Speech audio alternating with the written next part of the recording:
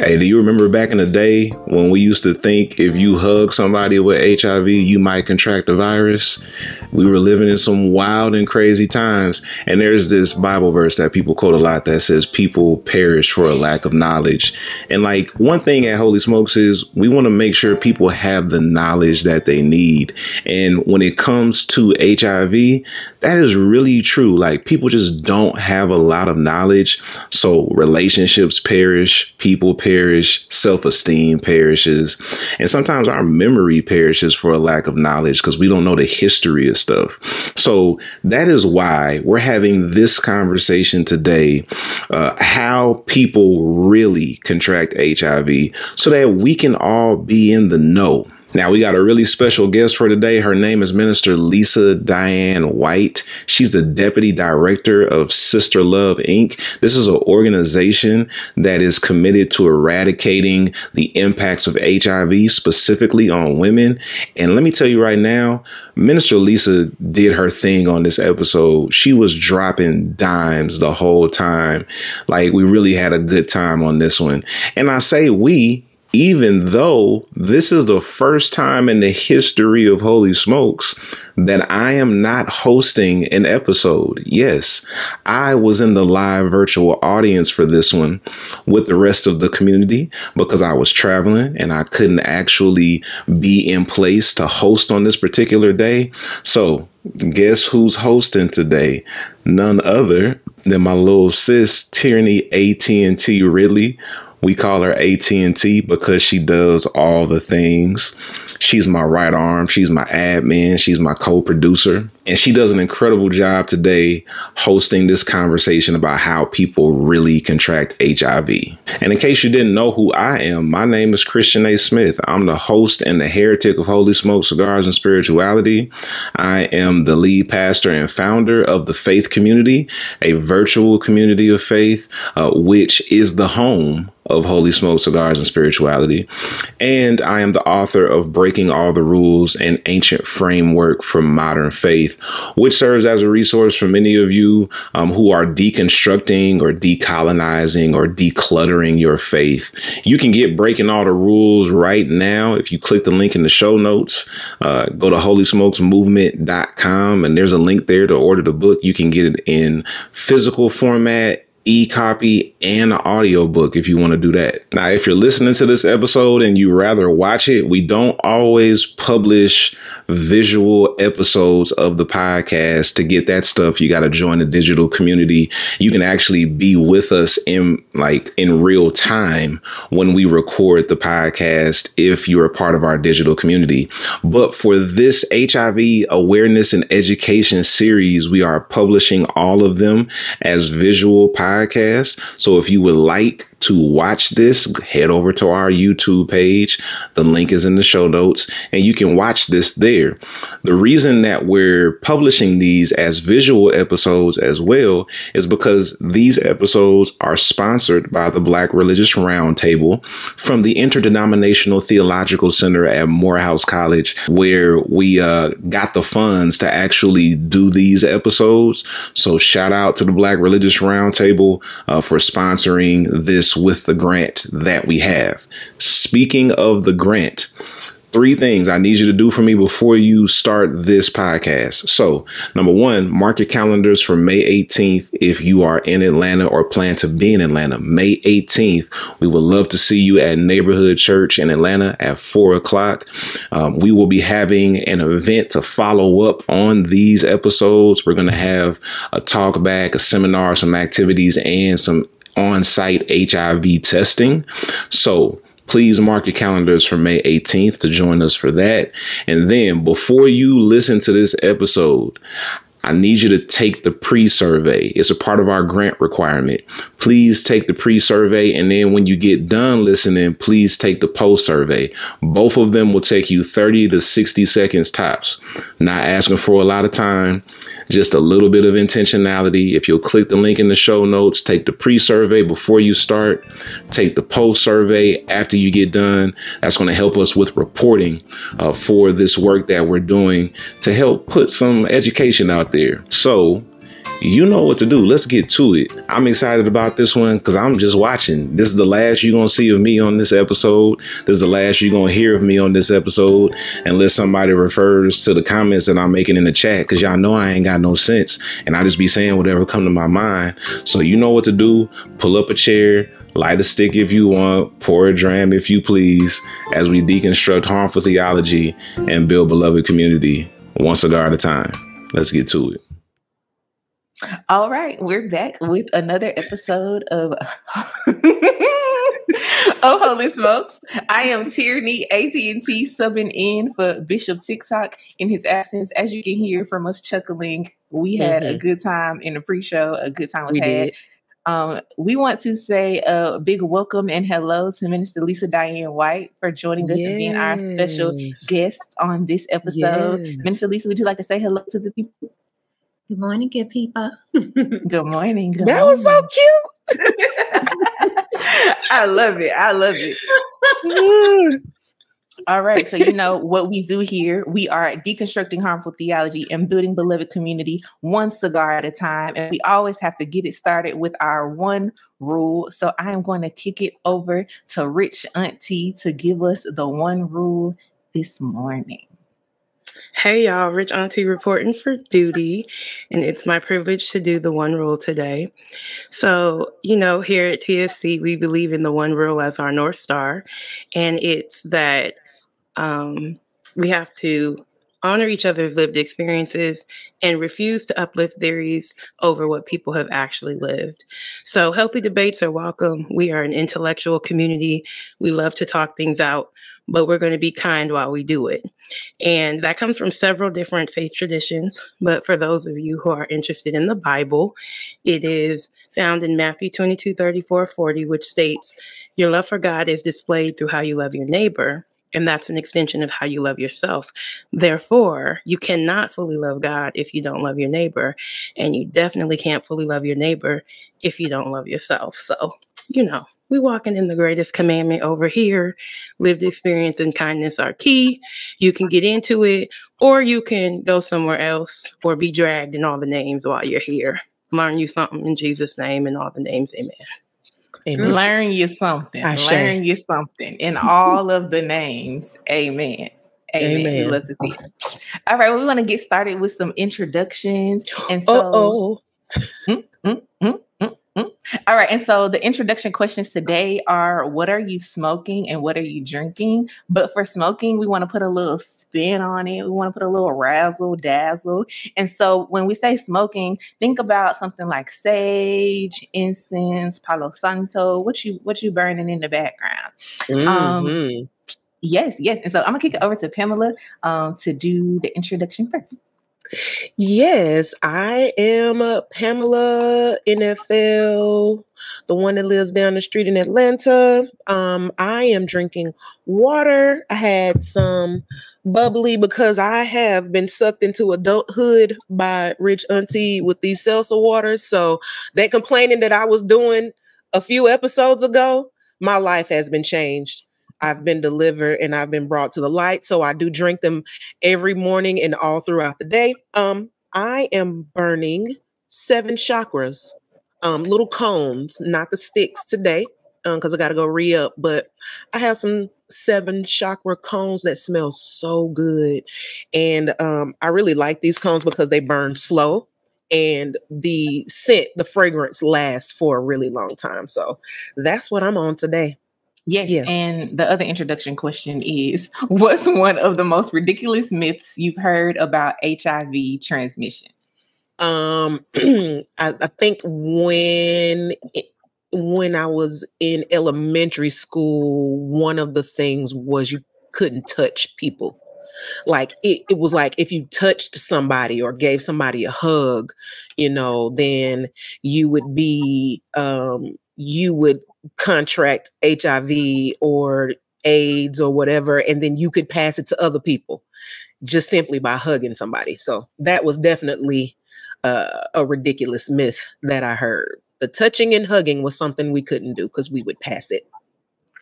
Thank you for sharing. Thank you for sharing. I had never I had heard people talk about that, but I never actually experienced it based on, you know, the times in which I grew up.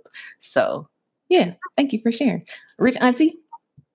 I'm weak. She was just like, I'm young. I don't know anything about that. right. Don't she have to remind us every single time? I'm like, I be getting on them when they call you the baby, but you just said you was the baby. So anyway, um, Rich Auntie, I am smoking my very favorite incense, which is John the Conqueror. Mm. Um, as y'all know, I'm very interested in learning and growing in my hoodoo practice. And last night at BWAS, we had a time. My, my. So I'm still burning that incense. And the myth that I heard or learned was that if you got bit by a mosquito that bit somebody who had AIDS, you could get AIDS. I heard that too. So there was a time when like my friends were like, I don't like bugs as it is but you know, people be lying, so you be super jumpy about something that's not even true. Mm-hmm. Wow, bit by the mosquito that mm-hmm. bit somebody else. Okay, interesting, interesting. Mm-hmm. mm-hmm. Minister Lisa. Yes, um, I am uh, burning. Uh, I'm gonna say this is old school, but a nag champa.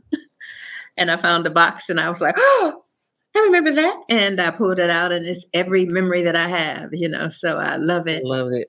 And I'm mm-hmm. drinking water. And uh, one of the myths I heard, I was uh, doing an educational session, and the man asked me, could he get it uh, from his uh, person that was cooking his food?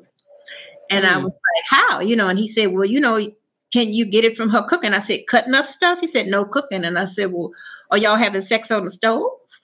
That that's about the only way I think that might you having sex on the stove while you're cooking. So that one kind of threw me. And a second one was uh, he said he could tell uh, by a woman's smell, and I was like, "What is that smell? Is it?" Uh, what's our favorite smell? You know, I'm like, what is that smell? Oh, wow. By the way they smell, whether or not they had uh, HIV. So, wow. That's that very really threw me. That's an interesting one. Yeah, I've definitely never heard that one before. HIV has a smell now. I, I, you know, but specifically on women to help them out. And it was you like, were you saying are they clean or what? You know, is it a particular perfume? You know, you got a little sense going on. Uh, either way, somebody might be sniffing. Lord have mercy, and only the women. It's only the women with the smell. Of course, only you know, the women. we do and give everything. Lord have mercy. My mind. Wild. Wild out here. All right. yes. So I like I said, I'm Tierney AT&T. And so I am drinking coffee and water. So two cups, not quite three. So I don't think my auntie is in training today. Because if you got three cups at one time, you know, that's peak auntie. So I'm auntie in training today with the two cups. Um and then what I'm burning is this sandalwood incense. It has become one of my favorites. I love the way that this smells. It's called Sandalwood Forest by Ar- Aromar. I got it from my local smoke shop. And so it's it's going in the background. It's almost done. I might have to relit one relight it while we uh, while we doing this. And then one of the myths that I heard about HIV transmission was that you can't drink after people. So when you are, you know, out and about, or when you're at, you know, the family functions or in any public gatherings, you can't drink out of the straw or out of the cup or you know out of the same pitcher or thing that the person who has HIV has drunk out of. So that's the one that was still lingering around during my time since y'all want to pick on me for being the baby since I had necessarily heard some of these other ones, but it was that you can't drink after people. And so um, I wanted us to talk about what some of these really ridiculous myths were because the goal for this episode is to combat those and to talk about what HIV transmission and education actually is. How do you actually get HIV? How people really contract HIV. And so some of these are very, very far fetched, but let's bring it back to reality. Let's bring it back to the practicality of the things. And it's really, really important because most of us are in the South, but even in the United States as a whole, new HIV cases are still popping up each and every day. And so some people don't know how they contracted HIV. They thought what they were doing was the thing that they should be doing when they actually should be doing something else. And so there's this video that I encountered on Instagram. It was shared by um, her name is Ashley Cobb. Her Instagram is Sex with Ashley. And it was talking about the new cases of HIV in the South. And so I'm going to play the video for us all here together. And then I just want to hear your reactions. Okay. HIV cases continue to soar across the southeast, according to recent data from the CDC. Officials say Metro Atlanta had the third highest rate of new cases among U.S. metro areas in 2021. Fox 5's Joy Duke spoke with health officials about what they believe is driving the numbers. She joins us at the live desk with more. Joy. Yeah, Courtney Russ, Metro Atlanta saw more than 1,500 new cases of HIV reported in 2021. That's more than twice the national average. Health officials pointed to around the virus and access to care as ongoing issues contributing to those high numbers. The CDC's most recent data on new cases of HIV paints a startling picture of an ongoing health crisis in the Southeast. We've seen that HIV is growing in the South, and Atlanta um, has some of the highest numbers in the South. Metro Atlanta ranked third behind Memphis and Miami in new HIV cases in 2021. The 20 county Atlanta metro area accounted for more than half of the 2,371 new diagnoses reported statewide. That that's a shocking number. Um, that especially when we think about the fact that we're talking about human lives. Jeff Cheek is the director of Fulton County's Department of HIV Elimination. He tells Fox 5 while national numbers have been trending downward, several factors have led to steady increases in HIV cases throughout the southeastern U.S. In the South, um, we do not have good health coverage for anyone, not only people living with HIV disease. And so that's why it's so important for us to look at Medicaid expansion to see what we can do to help people. Georgia was one of 10 states that opted out of Medicaid expansion. Dr. Cecil Bennett says access to care isn't the only issue in the South, where finding doctors who care for patients with the virus may be more difficult. We have to remember that, you know, we're, we're still in the South and there's a lot of stigma attached to uh, the LGBTQ community. While Cheek says the numbers are concerning, his office remains committed to connecting HIV positive patients with providers and and so we are in the South. We talked about the stigma that is still here. And Minister, Minister Lisa, I would love to hear your reactions or reflections to the information shared in the video.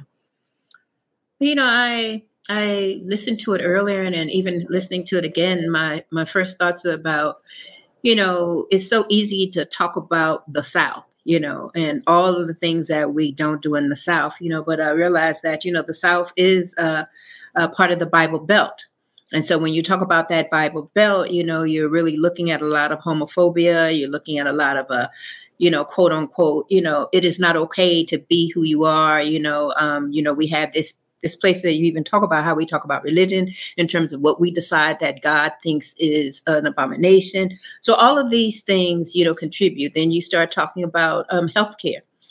Uh, to be diagnosed with HIV, typically to be treated by HIV, you need to be in healthcare. So if you don't have access to health care, you can't afford health care, you don't even do well care of any kind, then by the time you really find out what's going on with you, you may have, you know, you know hiv you may it may contribute on further down to more hiv disease. And then to talk about hiv people need to know that it can be treated that you can live with it. It's a chronic disease. We're still treating it like a criminalization uh, we have a lot of laws on the book about HIV transmission. Uh, say if you use a sex toy, you don't disclose your status. If you don't disclose your status, period, then you know this is a criminal. It is a felony. So a lot of these things, you know, why would you even want to know your status? Because at least if you don't know, this is one of those things I didn't even know I had it. But a lot of time people talk about having it, and we think that people spread it knowingly. And a lot of people just simply don't know. You don't know how you get it. You don't know how you transmit it. You don't know what the myths are versus the facts. And so all of these things contribute to stigma, such as you can get it from a mosquito, you can get it from hugging, you can get it from eating, you can get it from touching. So if you don't know how it's transmitted, then you're going to spread those myths. If I never tell you, then you will come up with what you've heard and you will share that information with your friends and family. So if I think eating utensils at my home may cause you to give me HIV and I don't know your status, then everybody eating on paper plates.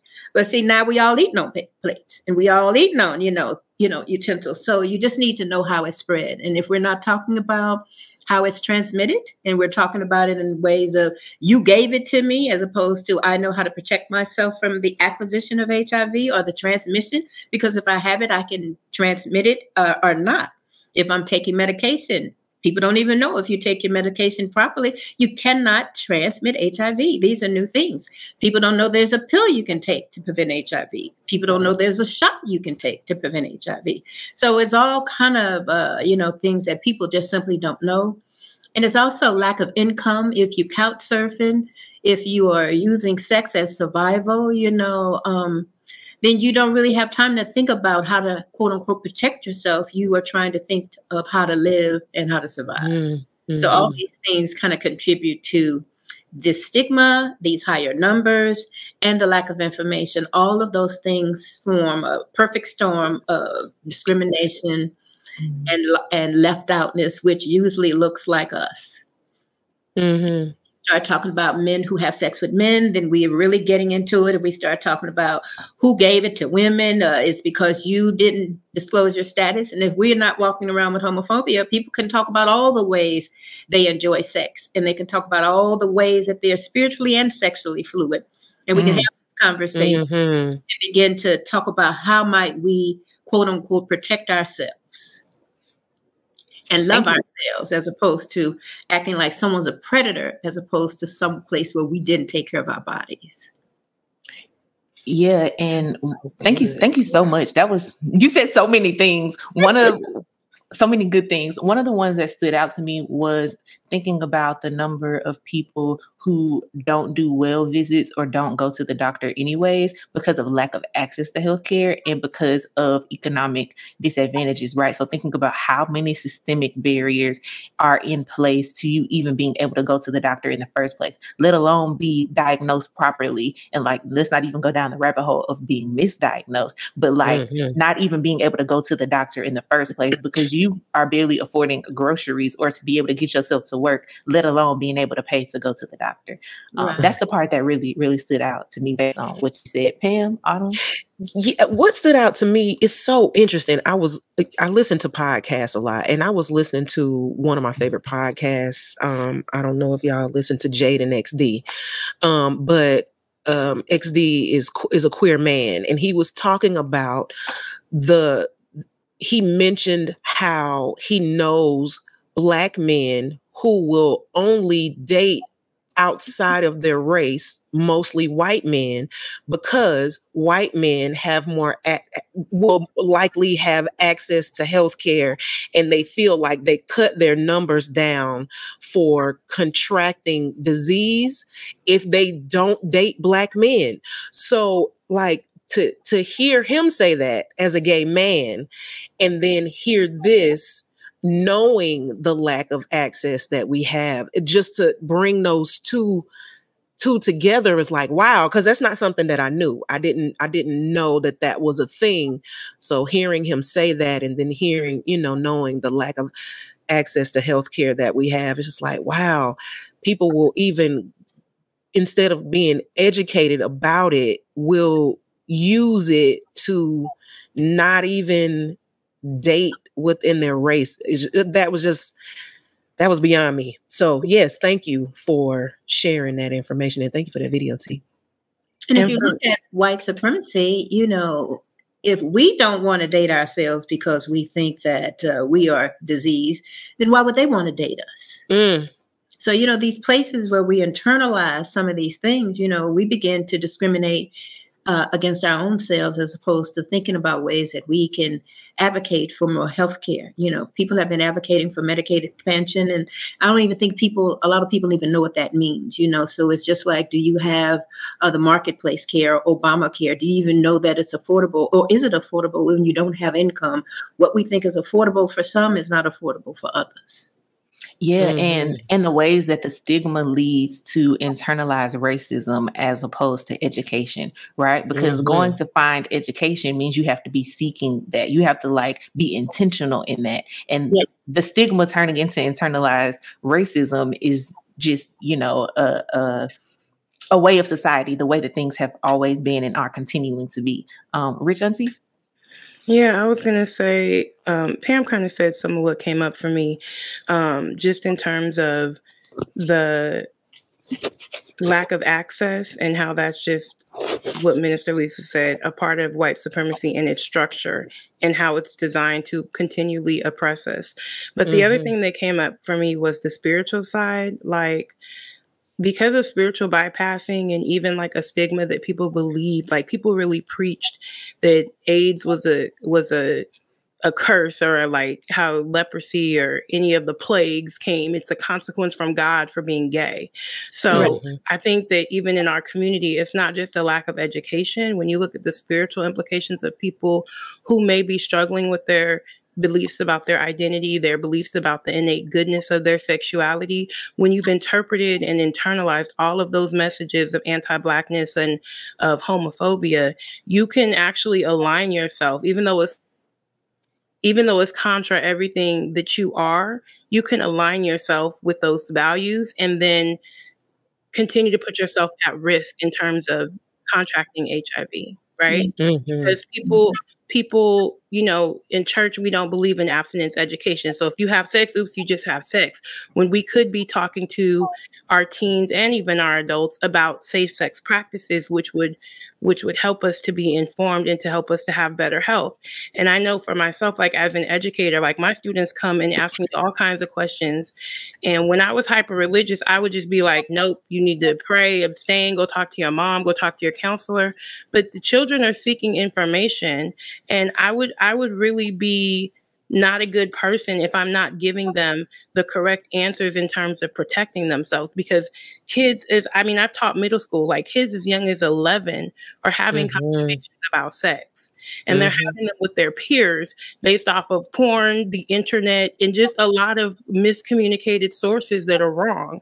So I think it's part of, part of our responsibility is not just to be armed within our own knowledge, but to make sure we're educating young people because they are at risk as well. And, and not just being at risk, they are young enough to contract it and have a lifetime of dealing mm. with the disease when we could have just taught them better. Yeah. Yeah. And, and I think that's, you know, when we, in a, a lot of this is, which is why the projects that I'm working on stem from spirituality, because when you can separate someone from the love of God, or you think that you can, when you think that someone cannot be your neighbor, so you don't have to treat them as such, then this is how we begin to isolate people, we silence people, and we make we render them invisible. And I think it's, uh, uh, you know, I love the fact that you all are reminding us that we don't use any oppressive words when we are speaking about spirituality and how we talk about God because God is love. And mm-hmm. nothing can separate us from the love of God. But that's all you, most of us have been taught that these are the things that you do that will separate you from the love of God. And all of these are the places where stigma gets laid, spiritual and otherwise. We don't believe in spiritual fluidity. We certainly don't believe in sexual fluidity. And so, if you have mm-hmm. any conversations about anything other than what we think, and frankly, you don't need to have no conversations because one time I used the word vagina in a meeting and the woman stopped me and screamed and said, There are children in here. And I was like, Do they not have vagina? And and but, this is what this is what? First of all, first of all, I want to give Minister Lisa a mic drop for please.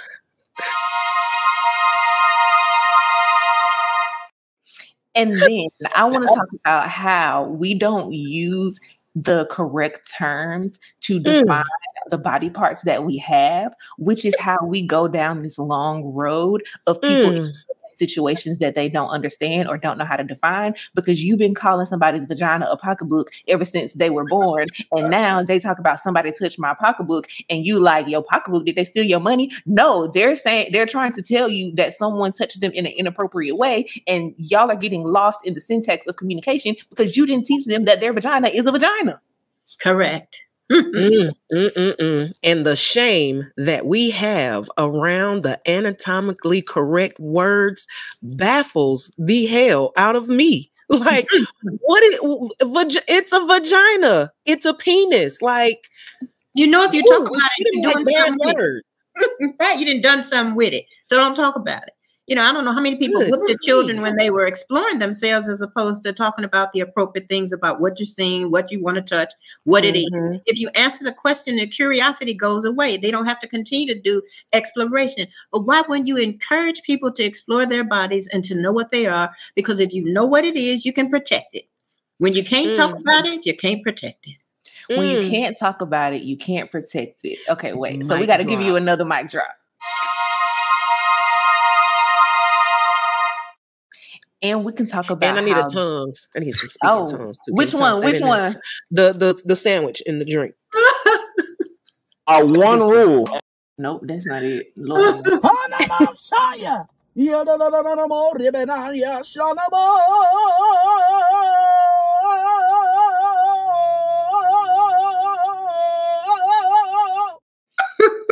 Yes, is dropping gems. Look, okay? don't do it.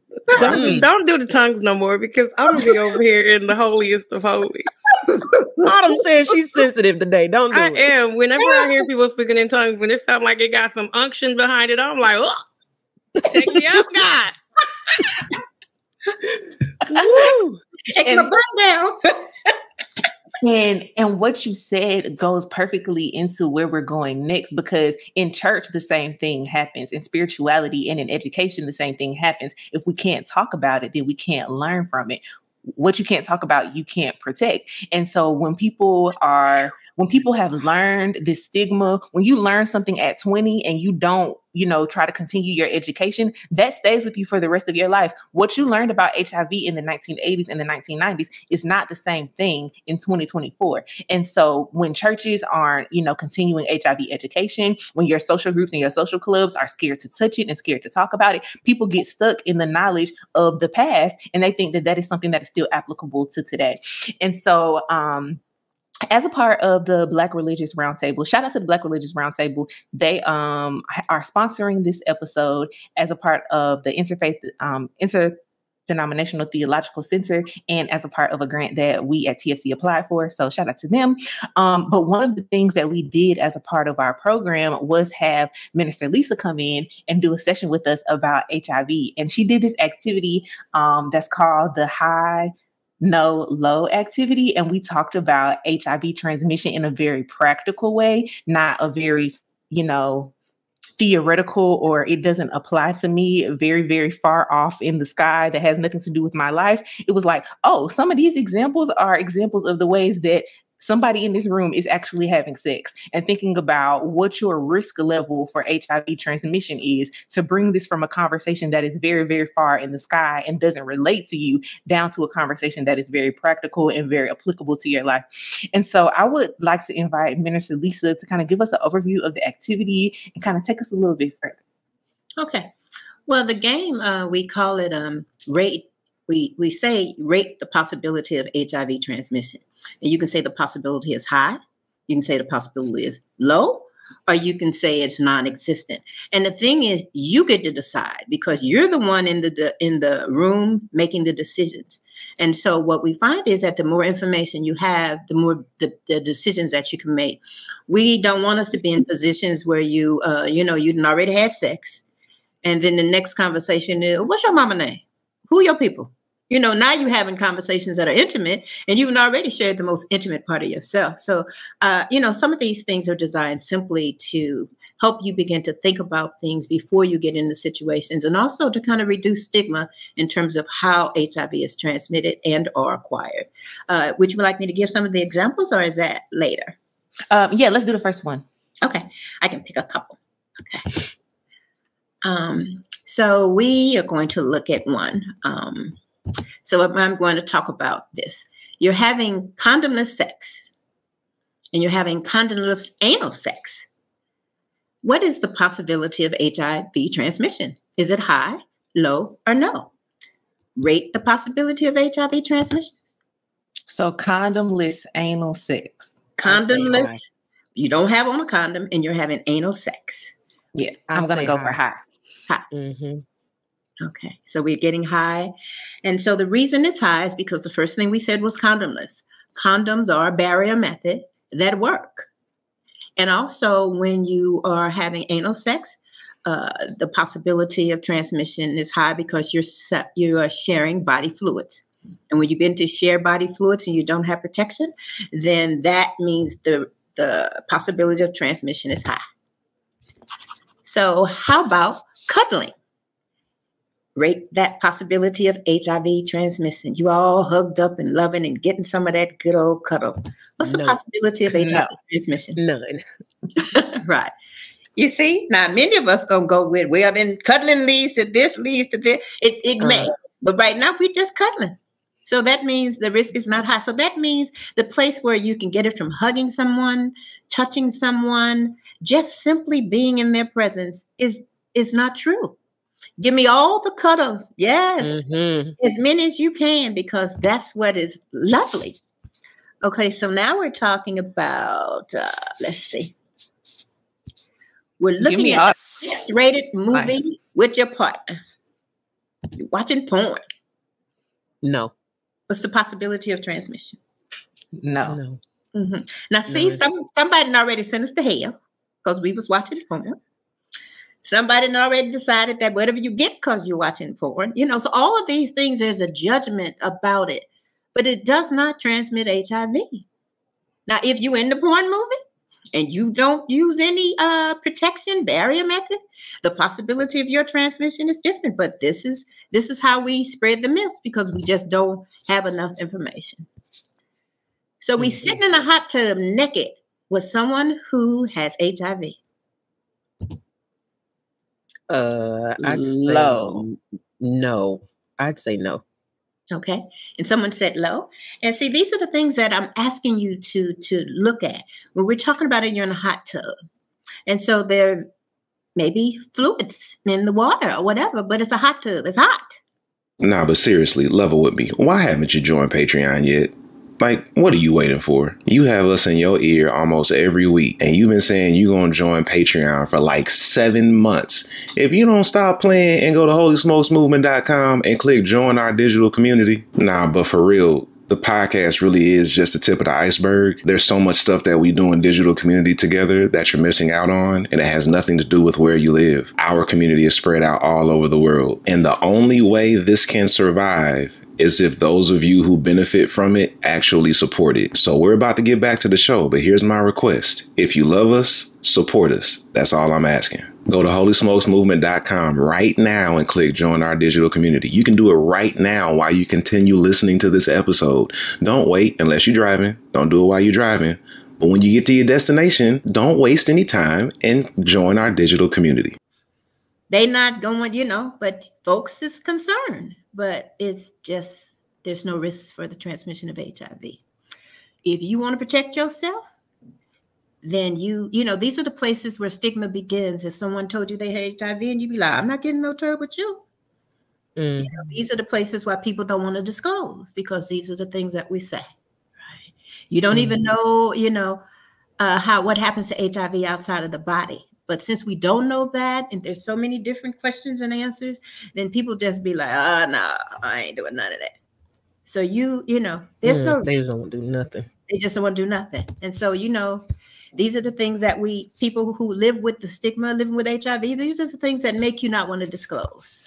Minister Lisa, can we um pause here and talk about this one a little further? So one of the questions that came up in the chat is won't the heat kill it? And can we talk about what it what it would look like for like um if there's like bodily excrement or if there's open wounds or any of those types of things some of the questions that people might have as they're thinking like oh well i still i don't quite understand. Right. So if you're in a hot tub with excrement then uh you already got some issues going on right there that doesn't have anything to do with hiv you can transmit a whole lot of other types of uh you know things uh, that come with excrement Um, the same way, you know, when you're talking about uh, maybe blood, um, is blood, you know, blood can, HIV can live in blood.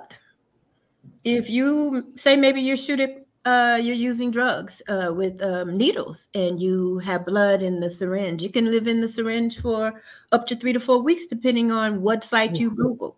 You know, it could live in uh, excrement, you know, if, uh, you know, there's some, you know, things of that nature. But you're also talking about this heat and you're also talking about a lot of, uh, you know, um, bleach and whatever those things are in a hot tub, you know. So this is why even when you're in a swimming pool and somebody poops in the pool at the, you know, at the the water park, they shut it down. Lord mercy. Shut it down, y'all, because you know you, you can't have it. You know, they ask you not to come out there if you got diarrhea or dysentery and all those things that just keep on coming out, you know. So all of those things expose us to illness, not HIV, just HIV, but illness, period. You know, there's so many things you can get, and you don't want any of those things. And so, but what we're trying to do is have an understanding of uh, getting in the hot tub. You know, if you got open wounds, you you say if I asked you, uh, you sharing toothbrushes, is that a possibility for HIV transmission? No, no. Mm-hmm. Well, what if you got bleeding gums?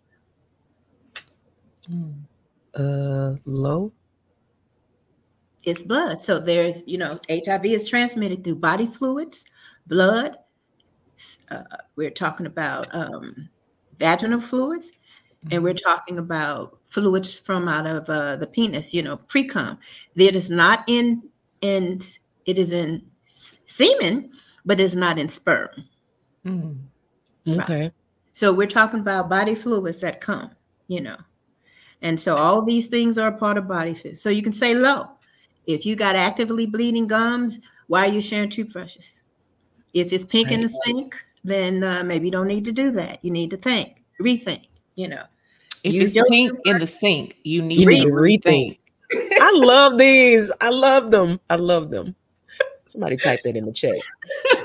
if it's pink in the sink, you need to rethink. Come right. on, women of God. And again, we're talking about care, you know, because if you have pink in the sink, that means you're not able to see a dentist to get that plaque removed off them teeth, you know, and it, it, we think this is the norm, you know, and it is the norm when you don't have good quality health care and you can't do preventative uh, health care, whether it be oral or otherwise. And so these are the mm. places we look at what does a lack of health care contribute to? A lot of things. If it's wet, it's a threat. Now, see, it's so much wet because sperm is wet, mm. but it's not a threat unless you're not looking to be pregnant. if you're looking to be that pregnant, word. invitation, you know. invitation. My, my, my. Saliva is wet, but you got to exchange a whole lot of saliva. You know, we talking about gallons. If you kissing somebody that's that's dropping that much saliva on you, then get you a good towel and keep it moving.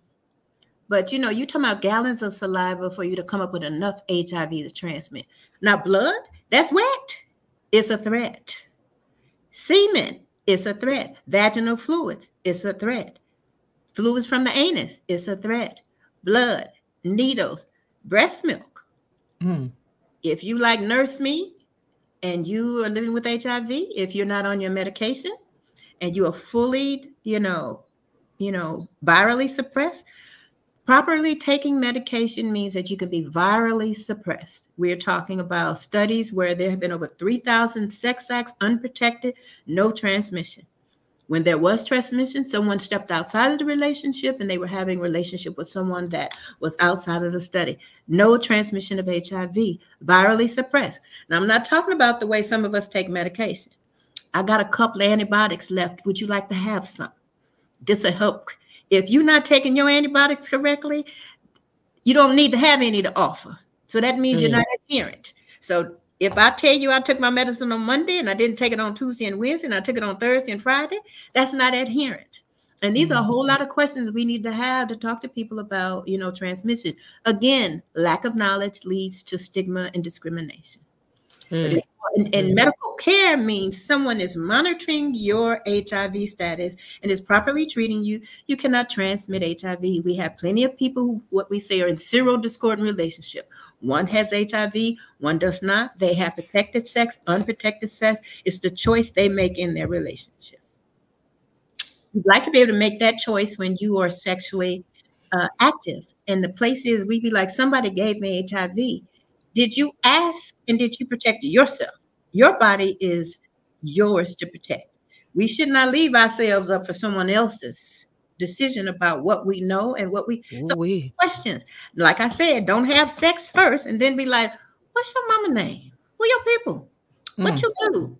Turn on those lights. Let's look at a few things." Help us. Ask the questions. My Ask the goodness. questions.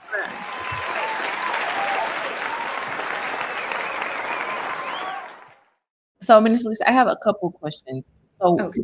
ask um, the question yes, yes, ask the questions. So someone in the chat asked the difference between semen and sperm. And then okay. as we go from there, can you talk to us a little bit about pink parts as we move on to um to do some of the other um, high, no, and low activities? Okay. Well, semen is the fluid, just the fluid that comes out. And sperm are the little fishies that move inside that. They're the ones that carry the possibility to be able to support you in terms of getting pregnant. So, like, say if a person has come, pre cum, that may be just fluids. But then, in terms of the, the sperm, also lives inside that same fluid. So those are the things that comes out, and you never know what's coming out. You can't say it was just a little pre something, or it wasn't no sperm, or it wasn't no. So what ejaculates is a combination of both, and it mm-hmm. always is coming out at any point in time as far as when you have a body that can ejaculate sperm and sperm fluids. You the same fluids you have, you have fluids in your anus, and you have fluids that come out of your body. You say you're wet. And so when you talk about pink parts, you're talking about those wet places, some places like in the vagina. It's some pink parts in there. You see pink. When you're talking about your throat and your mouth, there's some pink parts in there. When you talk about the anus, you open things up. If you take a look, some parts in there is black and some parts in there is pink. you know, and so the further you go into the body, those parts are pink, and those are the parts that become, you know, um, uh, they're open to transmission. So if you're the skin in the anus is thin, so transmission occurs, which is why there's a the higher rates of uh, HIV transmission for people who are having anal sex and and and vigorous anal sex because of that thin skin. Uh, the vagina is an acidic place, so it does not like a lot of things, and so it kills a lot of stuff. But at the same time, it also allows things in, and we need to be careful what we put in it. So it likes to be eaten, but it don't eat. So don't feed it.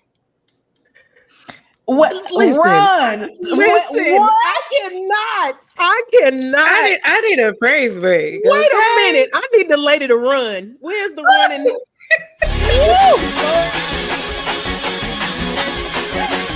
This how we praise them down south. You are helping us in here, okay? Sheesh. It likes to be eaten, but it does, it does not, not, eat. eat. Right. Don't feed it. Don't My feed it. God today. Okay. Listen, I love it. I love it. Okay, let's try one of these. You're licking honey off your partner's vagina without using any type of barrier, a plastic wrap, a dental dam. Now, we just had this conversation. Is that rate that possibility transmission high, low, or no? I'd say uh low. Okay. Okay, so you're eating honey, licking with no, honey with no partner. barrier method. You'd have no, no barrier method, right? Okay, low. You're saying low. And why are you all saying low? Tell me what you're thinking. It's no uh, barrier method, but it's well, no, because it's two pink parts. If you're using the mouth in a oh no, now I'm confused. Yeah. Okay, so maybe it's high because it's yeah. no barrier. Yeah, high. Oh my god! Right. You see, you're not thinking all that when you see that honey. No, that's why. That's why we got distracted. Right. right. And I just told you it don't eat, and you sitting you're up right. there trying to feed it some honey. Somebody right. talking about yeast infection and all kind of things. It don't eat. My. It likes to be eaten. My. So you licking, so just lick. Just eat.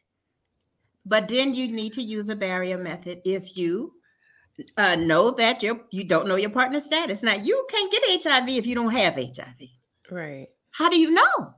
You only know if you take a blood test and you get properly diagnosed as whether or not you are living with HIV or not. And if you're not, then you choose to have unprotected sex, then that's your choice. You choose to have unprotected sex with several partners and you know everybody's status. Now, you can't know my status just for today because you don't know where I went to play after I told you what I did yesterday. We can go get tested together and come on out of there with our test result. You don't know where I go. But I'm not talking about our trust relationships. I'm talking about how do you take care of yourself, prevent transmission of HIV. Only you know what your status is and what's going on in your body, and then how you would choose to allow someone to enter into it. Mm. It's good. That's good. So good. That's real good. That's real good. Mm. Okay. All right, let me give you another one. Let's see if you how you do with this one. Then, um, so we're sharing needles to inject drugs, or we're drawing tattoos. What's the possibility? High. Hi. High. High. All right. So y'all know about tattoos and what happens when tattoos are being, you know, you got folks at home just tattooing up a stone. But if you don't, you know, if you the needles are not clean and they we talk about the fact that blood can live in needles, then these things need to be, you know, done. You're talking about, you know, you can exchange needles for clean needles.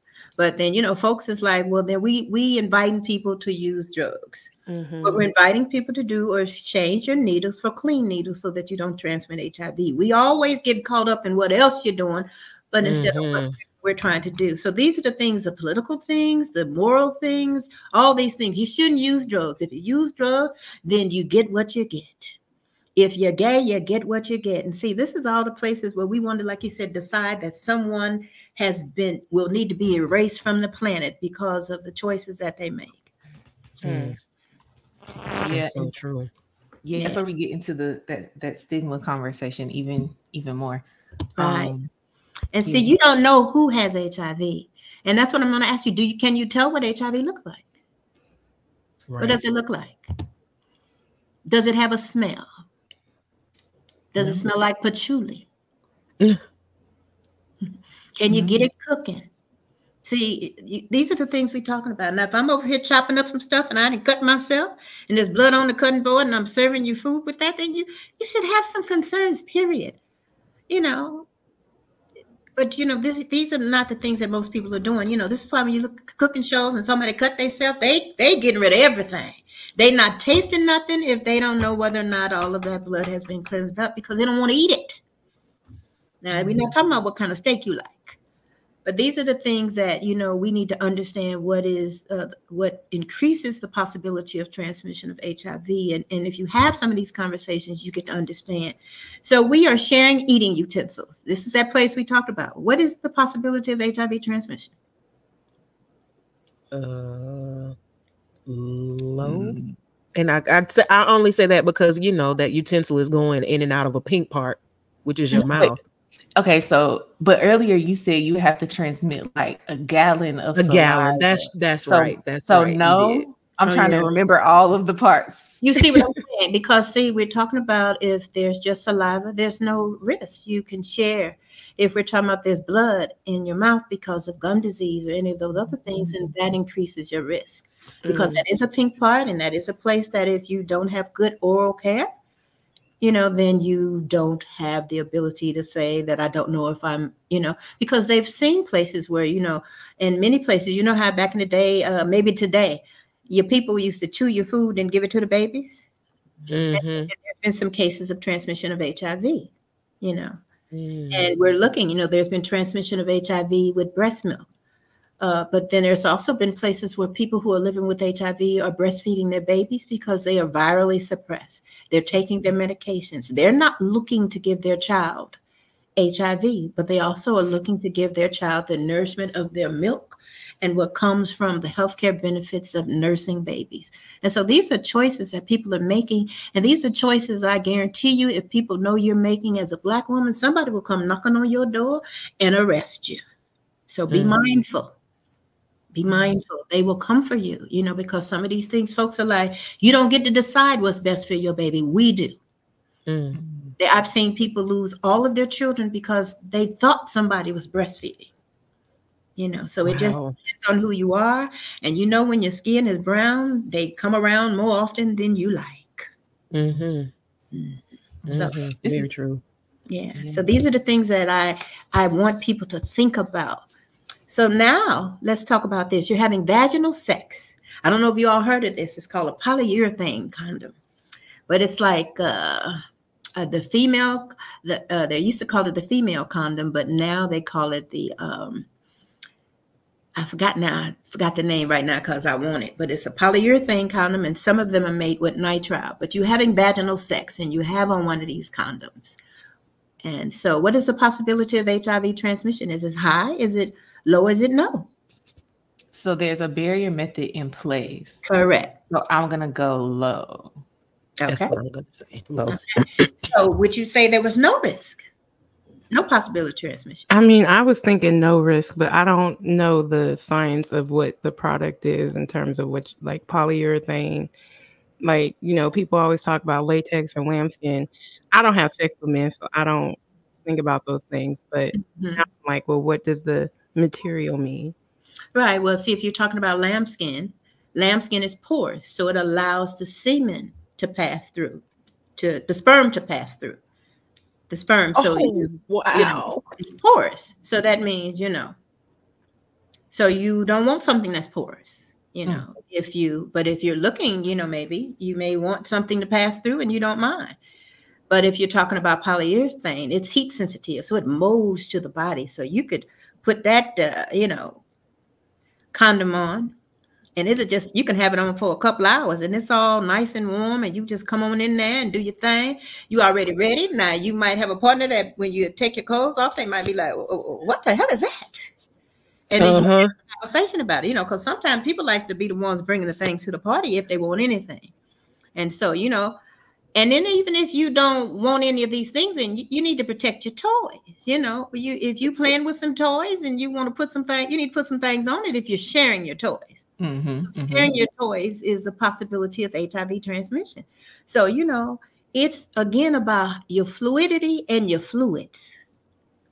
That's what we're talking about here. Mm-hmm. You teaching us today, and yeah, I'm so grateful. This is so helpful. So the um, risk, I didn't. The possibility of transmission could be low to no. Like I said, you get to decide. So if you don't know enough, you don't know enough about uh, what they mean. If you don't know their status for maybe HIV, you don't know your own, then you don't know anything. So if you don't know, you might say the, the, the risk is a little higher, it might be low, or you get to decide it's no. But when you think about it, you know.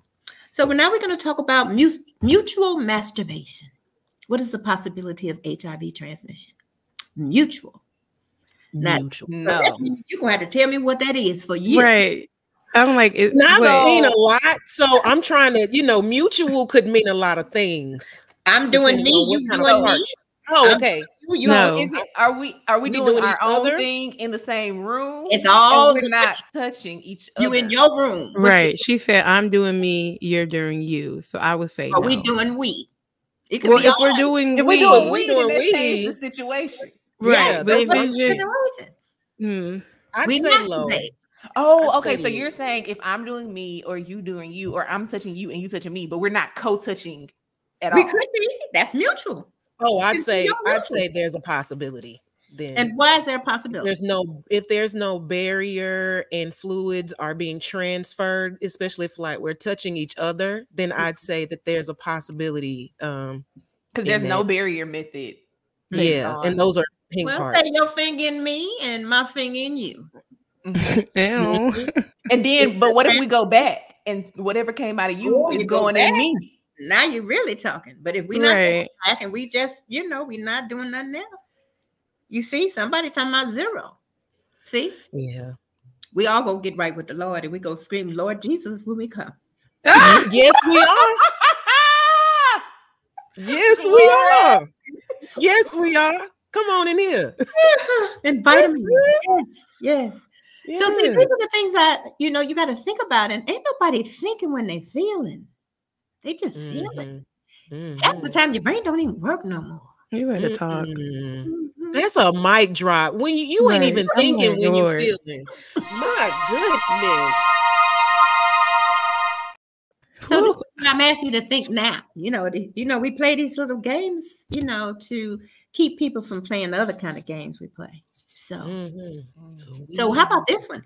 We take our antibiotics before we have sex And after we have unprotected sex, we take that antibiotic. But you don't take it any other time? We take it before and after. High. That's that's high.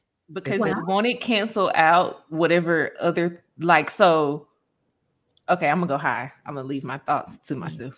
What does an antibiotic have to do with sex and protection and HIV? Let's start here. HIV is a virus. It is not able to be cured. There is no cure for HIV. There's no antibiotic you can take to cure HIV. So, no. Now, what you can take is a pill to prevent HIV. You can take a pill. So, if you're taking a pill, but it's not, you have to take it before. But you can also take a pill after sex if you think that you have been exposed to HIV, and that's called PEP, post exposure prophylaxis.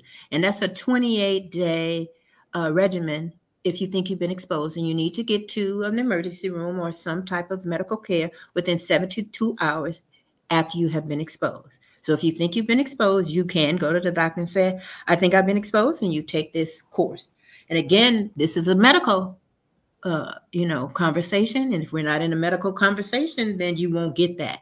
There's also a pill you can take before you decide to have sex. So, say if you are a person who is of uh, you're male, then you need you can take it up to seven days, and then you can have sex. You know, and you are protected against HIV. Now, it's not 100 percent. So it's anywhere between 95% and 100%, and depending on what you're taking. There's also but there's a pill, but women can't take that pill. Mm-hmm. It doesn't work for women. Uh, or, but there is a shot that everybody can get. And this shot is a long acting injectable, and you can ask your health care for that. And you can take that, and then you can get a shot, and then you can have sex and unprotected sex if you choose to. But at any point in time, you know, I'm not ever going to say to you, you can have unprotected sex. But if that's something you and your partner talks about, you know, their their regimen around their adherence to their medication. You've spoken to your doctors and you can make that decision.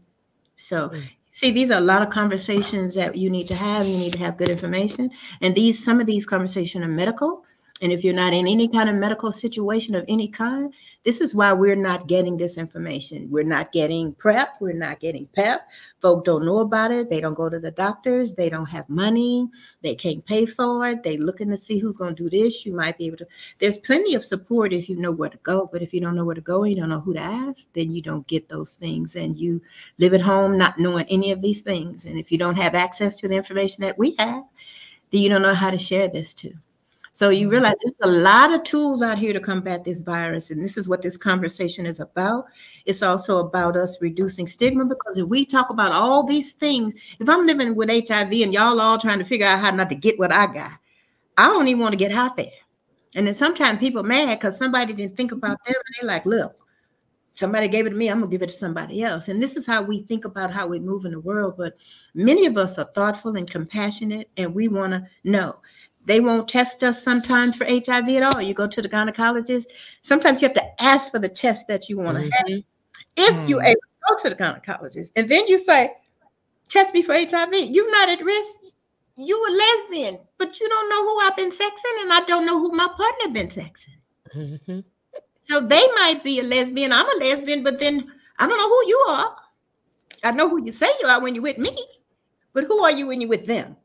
Well, well, well. My, that's a word right there. I know who you say you are when you with me, but who are you when you with them? Right, and you get to be all those things if you invite that conversation and you open to it. I ain't looking for none of that. Then I'm not gonna tell you about none of that. Mm. You don't and, let me be, then you gonna be you you you gonna get what you get. Yeah, and Minister Lisa, thank you for bringing that into the conversation because it, it's reminding me of um, this language that I heard on Instagram is HIV possible, and mm. so how you know sometimes when we think about stigma and we think about our risk factor for HIV, we have these very um, you know, I have to be having this particular type of sex with this particular type of person to be at risk for contracting HIV. And there's this new language and there's this new campaign about what it means to be HIV possible.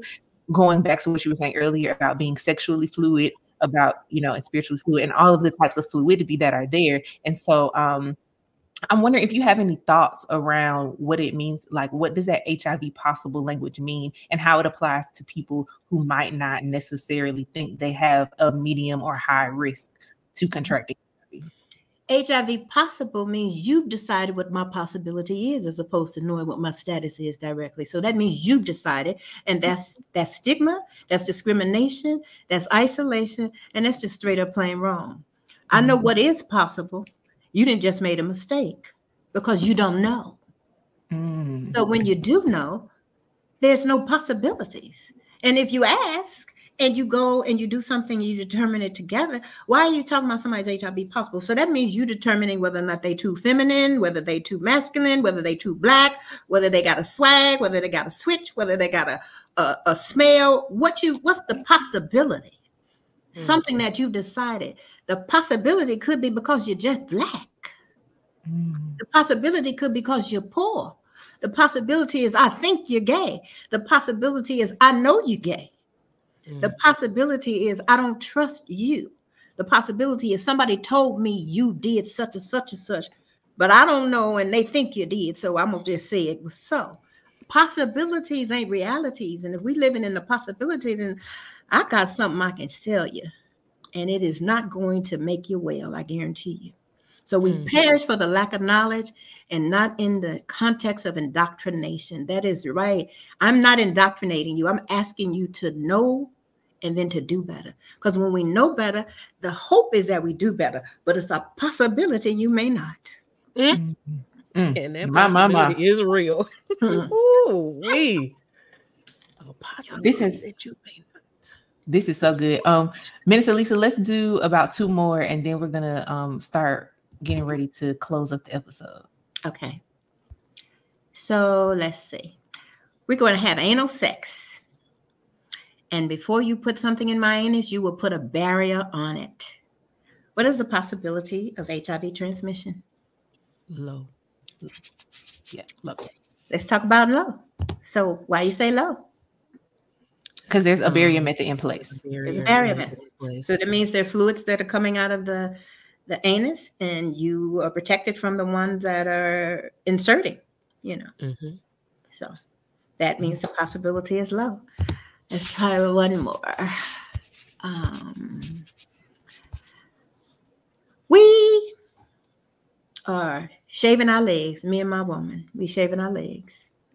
And we're sharing the needles. I mean, sharing our razors. Mm-hmm. What's the possibility of us uh, transmitting HIV? If somebody gets cut, there's a possibility.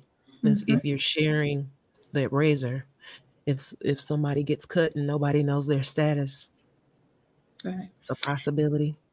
And we're, we're talking about little microscopic cuts, you know.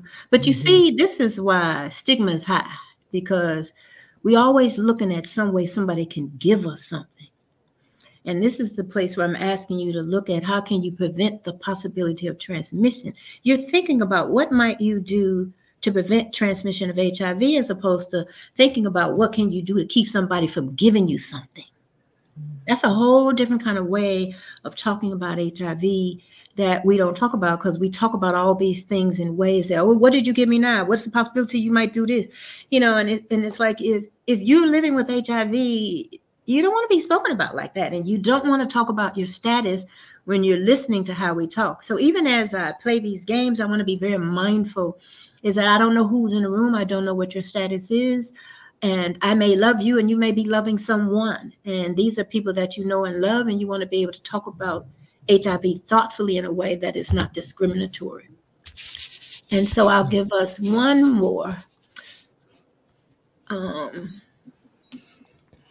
I'm pregnant. So we can just have unprotected sex. High.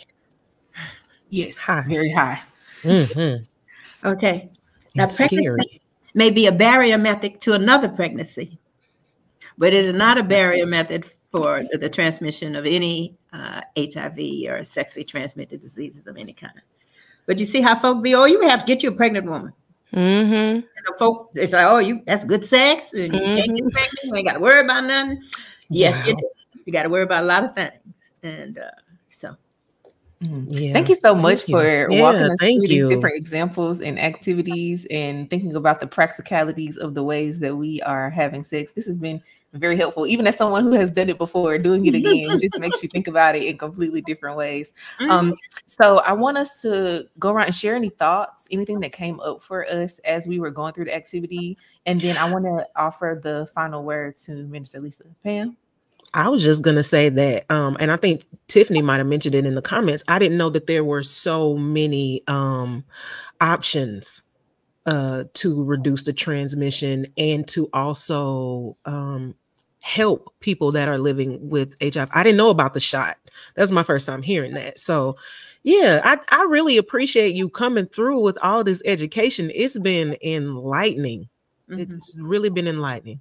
Yeah, the shot's been on the market, I would say, for at least a year.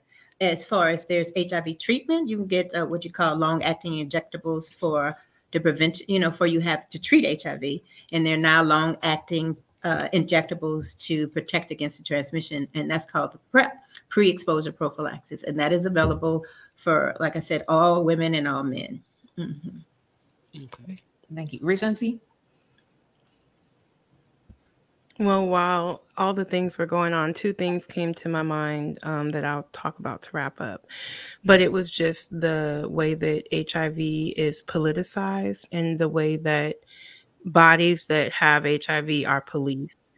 Um, and so I think for me, it just gave me not just a greater awareness, but a greater conviction that um, people who have this virus, they deserve dignity, um, they deserve inclusion, they deserve our love. Um, and we just, you know, it just takes me back to casting out fear. You know, that's what perfect love does. And so I just want to be more aware and diligent in the way that I interact with people because I think that there's so much stigmatization that leads to shame and all of the, you know, horrible things that come when a person is under shame. So I'm glad that I have I knew a lot of that stuff, but I'm glad that I learned some things today because I think that we need to just treat people better.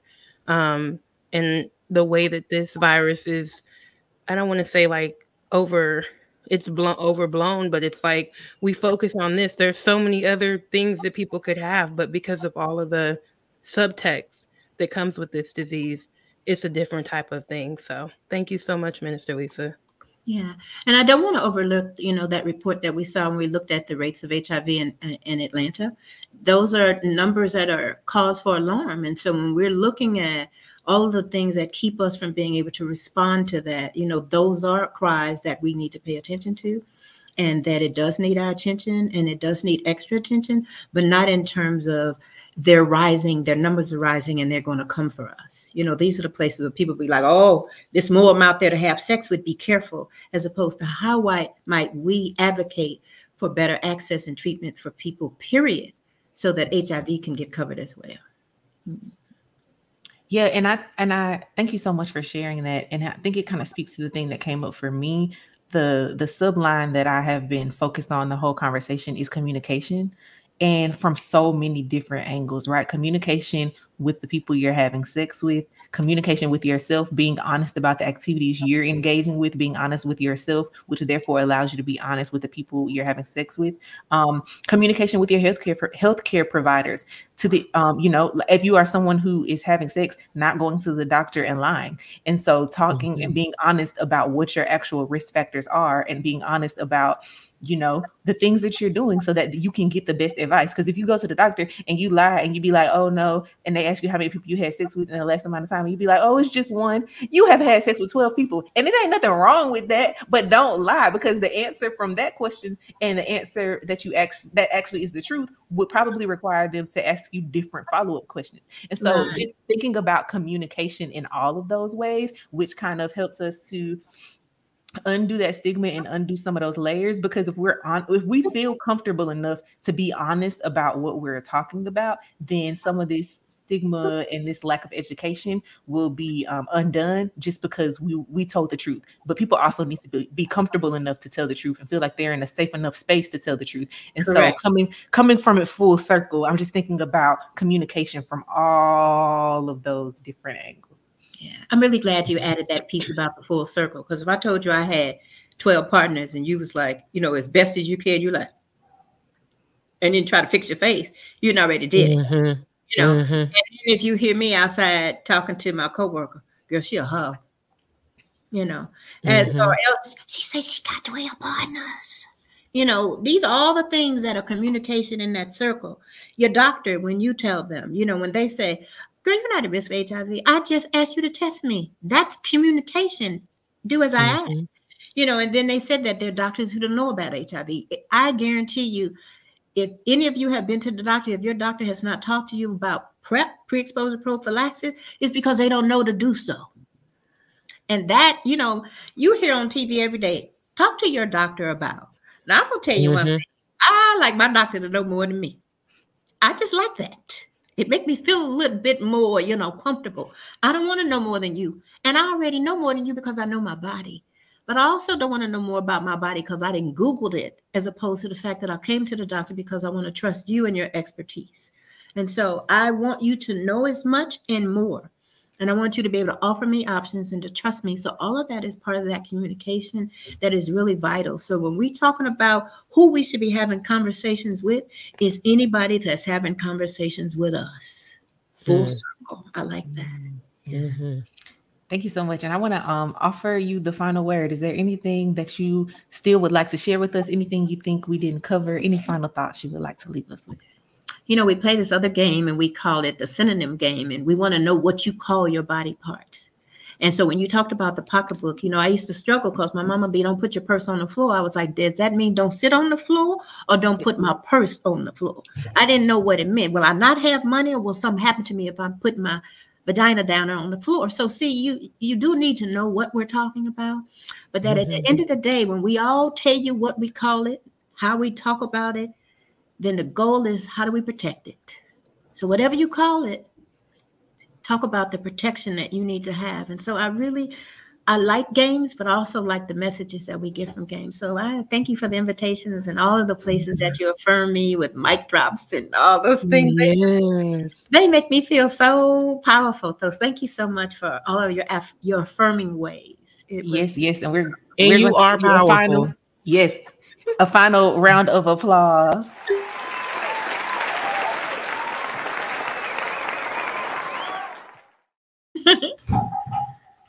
In the second episode of our um, podcast series in collaboration with the Black Religious Roundtable. On the final episode, we are going to talk about PrEP and PEP and other um, other methods that you can use for HIV prevention. Um, like Pamela and Tiffany were saying, they didn't know that there were so many. And so we want to dig into what all of those are, how you can have access to them, um, how you can ask about where they are.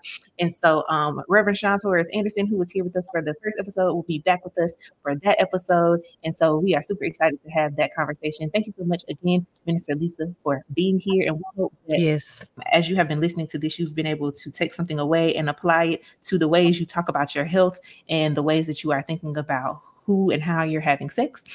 Um, and so we hope you'll join us back here next time as we're deconstructing harmful theology and building beloved community one cigar at a time. Peace and blue magic hair grease. Uh-huh. Thank you, family. All right, so the episode is over. Are there questions that we didn't answer that you were hoping we would discuss? Is there more conversation you'd like to have about this topic? If you made it this far into the episode, the only thing left for you to do is join the Patreon community because that's where all of that stuff happens. We continue these conversations every day. We have a whole ecosystem of digital communities, like 10 different communities that you can get access to for $10 a month total and you can watch these recordings uh, on demand. And if you upgrade to a higher tier, you can actually be in the live virtual audience when we record these in real time. Get the pre show, the after show, you get backstage passes. Go over to holysmokesmovement.com and then click join our digital community. And if you still got questions about how the digital community works, when you go to holysmokesmovement.com, there's a video right there. Watch that video, learn a little bit more, and then come over and holler at us in our digital community. holysmokesmovement.com. Click join our digital community. We'll see you there.